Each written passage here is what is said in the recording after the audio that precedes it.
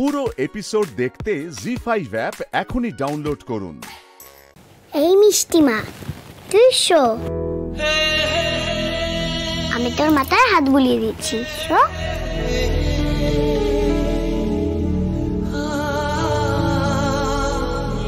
তোর কোনো ভয় নেই, আমার বাবাই আছে তো। বাবাই সব ঠিক করে দেবে। দেখলেন তো, ডক্টর ব্যানার্জি? আমার মেয়ের তার বাবার উপরে কতটা ভরসা?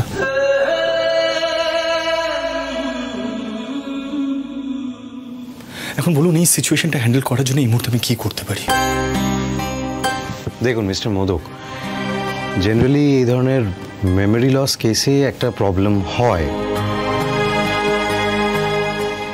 পেশেন্ট হয়তো, ধরুন, আগের কথা মনে করতে পারল, কিন্তু প্রেজেন্ট বর্তমানটা ভুলে গেল। মানে এরকম হয়ে থাকে বাট থ্যাংক গড মিঠাই ম্যামের ক্ষেত্রে এরকম ঘটেনি। মিঠাই তো ওই নফর দাসের ছেলের সঙ্গে ওর বিয়ের ব্যাপারটা স্পষ্ট মনে করতে পারছে। নফরবাবুরা যাতে কড়া সাজা পায় সেটা আমি দেখছি নিপা আচ্ছা মিঠাই এই ধাক্কাটা সহ্য করতে পারবে তো ডক্টর হিতে বিপরীত হবে না তো? দেখুন এখন আপাতত মিঠাই ম্যাডাম এখানেই থাকবেন আপনাদের মধ্যে।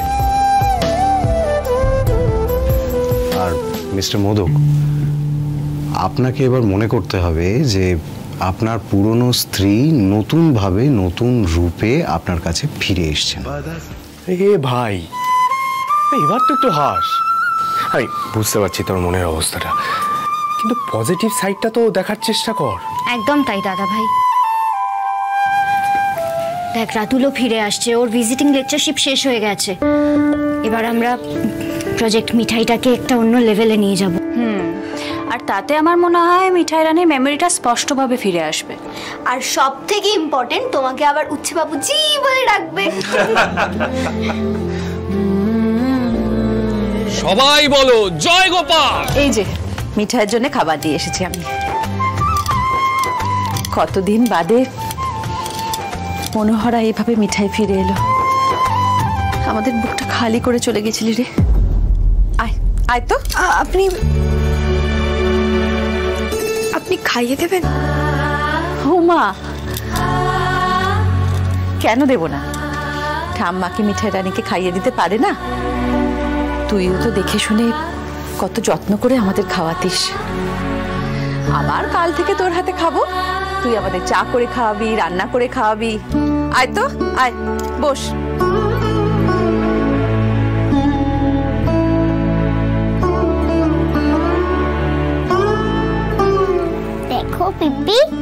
মিষ্টিমাও কীরকম বাচ্চা হয়ে গেছে।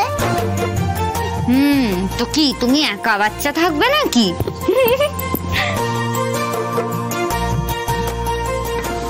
আমার জীবনে এত কিছু ছিল। ঠাম্মা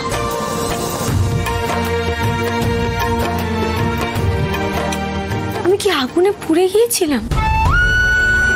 আমি না একটা অগ্নিকাণ্ডের ছবি দেখেছি স্পষ্ট।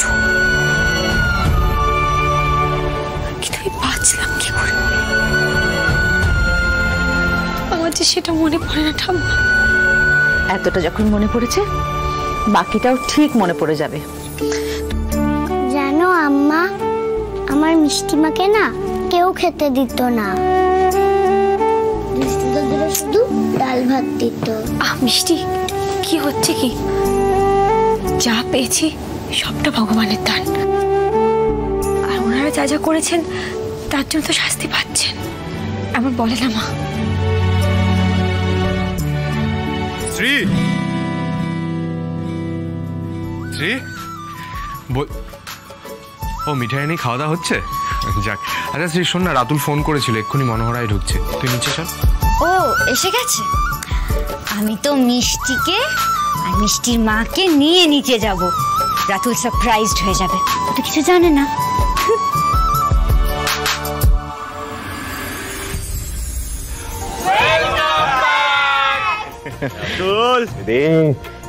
শ্রী আমাকে সবটাই জানিয়েছে। আমি তো ভাবতেই পারছি না যে বাড়িতে এত বড় একটা মেডিকেল হয়ে গেছে। আচ্ছা মিঠাই কোথায়? কিছু মনে পড়েছে ওর? সেরকমভাবে কিছুই মনে পড়েনি। ইনফ্যাক্ট আমাদের কাউকে চিনতেও পারছে না। তবে একটা জিনিস বুঝেছে যে আমরা কোথাও না কোথাও গিয়ে ওর পাস্টের সাথে কোনো না কোনোভাবে ইনভলভড মানে বাস ওইটুকুই অ্যাকসেপ্ট করেছে নাথিং এলস আচ্ছা আচ্ছা কোথায় ও কোথায়? রাতুল মিঠাই উপরে আছে। অনেক কাণ্ড ঘটে গেছে রাতুল। একেবারে তো সব বলা যাবে না। কাকুন। আরে আমার ডার্লিং আমার এঞ্জেল কেমন আছো তুমি? এই কাকুনকে পেল আর সারা পৃথিবী একেবারে ভুলে গেল। কেন কাকুনো যে বেছে বেছে সৃষ্টির জন্মদিনের আগেই ফিরে আসার সিদ্ধান্ত নিল সেটা বলো। আরে আমার ডার্লিং এর জন্মদিন না এসে পারি আমি হ্যাঁ? আচ্ছা সিদি চল একবার মিঠার সঙ্গে দেখা করে নি। চল হ্যাঁ চল। এই তো রাতুল। আর এইটাকে বলো তো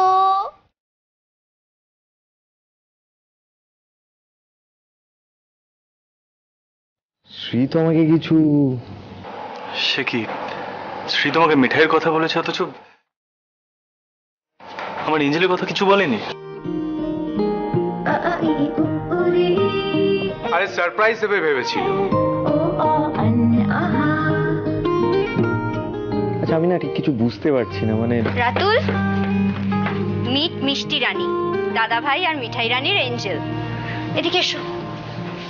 এ হলো তোমার আঙ্কল রাতুল আঙ্কল হুম?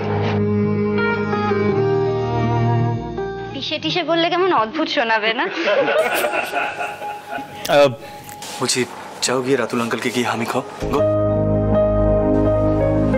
আঙ্কেল কাকুন এটা মিষ্টি।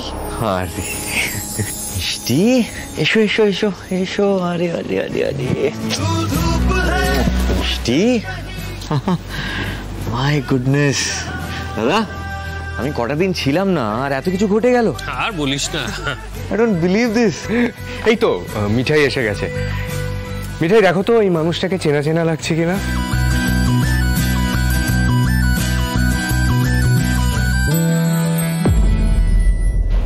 মিঠাই?